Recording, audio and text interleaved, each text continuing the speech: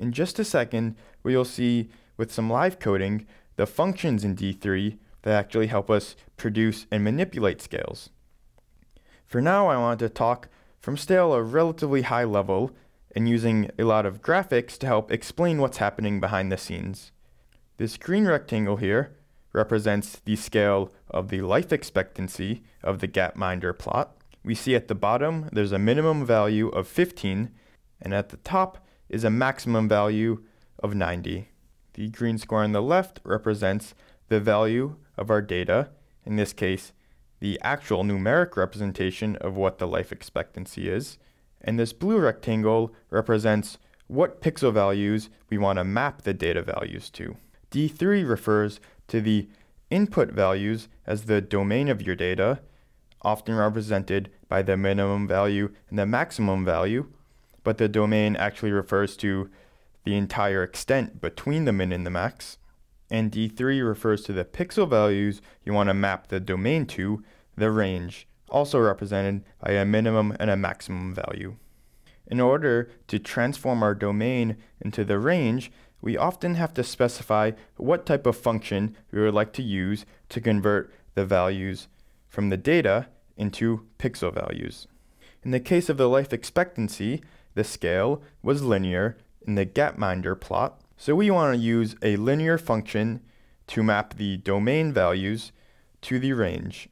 In the very mathematical sense and literal sense of a function that maps from our domain into our range, we can think of the transform that converts the values from our domain in the data to pixel values as an equation, in this case, mapping the domain as x into the range as y.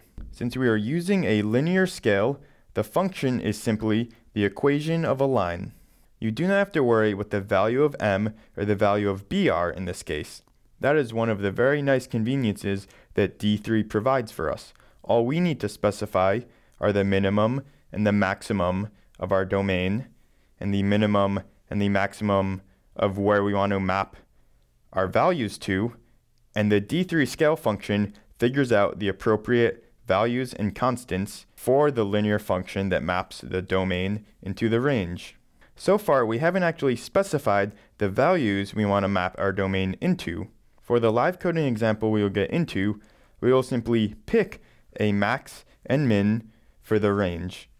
In our case, we can simply set a max and min of where we want our output range to be.